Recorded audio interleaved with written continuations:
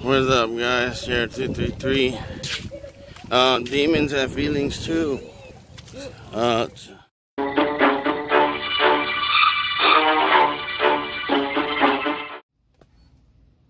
don't know if you guys seen this clip, but it's a sheep wearing a mask. Anyways, uh, I'm at the beach right here. Um, hope you guys enjoyed the video. Uh, little sheep, the little sheep did not like him at all. So yeah.